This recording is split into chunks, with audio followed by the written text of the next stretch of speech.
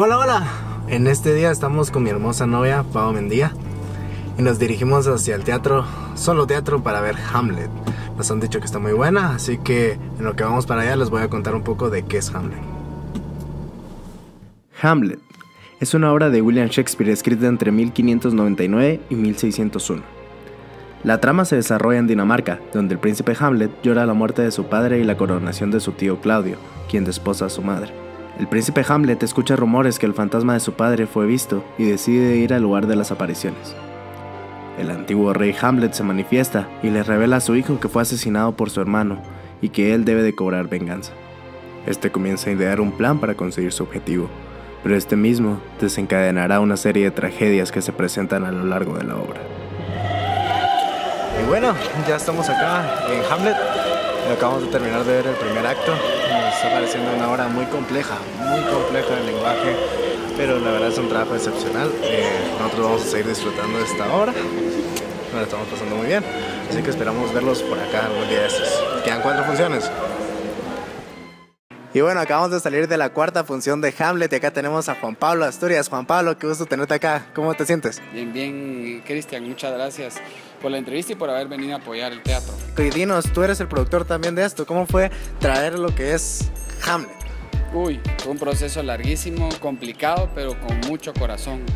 Eh, empezamos hace más de un año, el 6 de junio del 2015 Vino un director de fuera que fue quien nos estuvo coachando vía Skype primero, vino en Semana Santa y ahora viene un mes completo a marcarnos el resto de la obra. Entonces fue un trabajo remoto, fue un trabajo muy duro, pero muy gozoso el proceso. Me alegro mucho. ¿Y qué se siente interpretar a Hamlet, un personaje tan emblemático de William Shakespeare?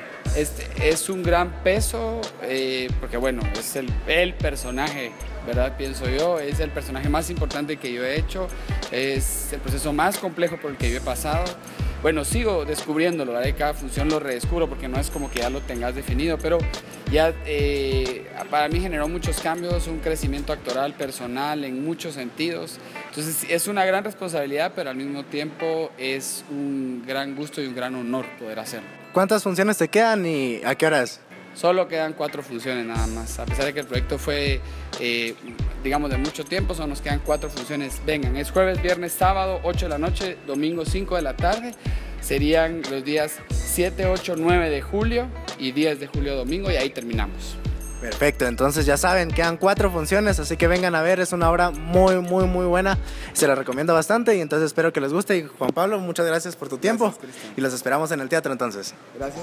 Y bueno, ya estoy de vuelta en casa, vengo muy contento, muy feliz, es la segunda obra de Shakespeare que he visto en mi vida. Ya había leído Hamlet antes, pero verlo en escena fue algo que me gustó bastante. Mis recomendaciones, familiarízate con el argumento antes de ir a ver la obra. ¿Por qué? Porque Shakespeare es algo muy complejo, entonces hay líneas en que uno se va a quedar pensando qué es lo que está diciendo el personaje y en lo que uno está pensando, esos seis líneas más pasan. Entonces la historia se puede llegar a perder. Lo que tiene esta obra a su favor en esta puesta en escena es que el ritmo, el ritmo es algo que está muy ágil, muy rápido, entonces no hay chance de que te distraigas o empieces a pensar en otra cosa. Entonces la historia no se pierde, pero puede llegar a hacerlo.